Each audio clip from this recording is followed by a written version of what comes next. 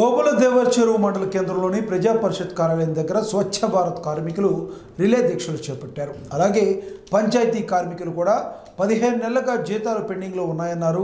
స్వచ్ఛ భారత్ కార్మికులు సిఐటియు నాయకులు రెండు రోజుల నుంచి రిలే దీక్షలు చేపట్టారు. ఈ సందర్భంగా సిఐటియు జిల్లా నాయకులు మాట్లాడుతూ స్వచ్ఛ భారత్ కార్మికులకు పంచాయతీ స్వీపర్లు పిఎఫ్ ఈఎస్ఐ సౌకర్యం కల్పించాలని కనీస వేతనం ఇరవై ఒక్క వేలు జీతం ఇవ్వాలని డిమాండ్ చేశారు.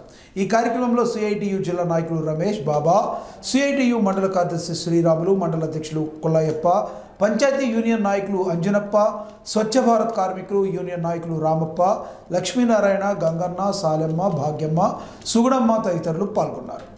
ఉన్నటువంటి జీతాలు చెల్లించాలని వారికి పిఎఫ్ ఈఎస్ఐ సౌకర్యం కల్పించాలని గుర్తింపు కార్డులు యూనిఫామ్ నూనె సబ్బులు ఇతర సౌకర్యాలు కల్పించాలని చెప్పేసి ఈరోజు ఆందోళన చేస్తున్నాం.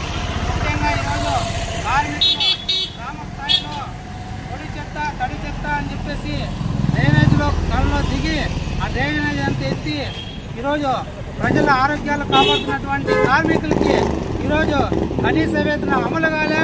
అదేవిధంగా వారికి పెండింగ్లో ఉన్నటువంటి జీతాలు కూడా ఇవ్వడం లేదు. ఈరోజు రాష్ట్ర ప్రభుత్వం అనేక హామీలు ఇచ్చింది. నేను వచ్చిన తర్వాత కాంట్రాక్ట్ అవుట్సోర్సింగ్ ఉద్యోగులందరినీ పర్మనెంట్ చేస్తానని చెప్పినటువంటి ఈరోజు ముఖ్యమంత్రి గారు మాట తప్పినారు. అందుకోసమే మీరు రాష్ట్ర వ్యాప్తంగా పెద్ద ఎత్తున ఆందోళన కార్యక్రమం చేస్తున్నాము. ఇప్పటికైనా రాష్ట్ర ముఖ్యమంత్రి గారు వెంటనే స్పందించి కార్మిక సమస్యలు పరిష్కరించాలి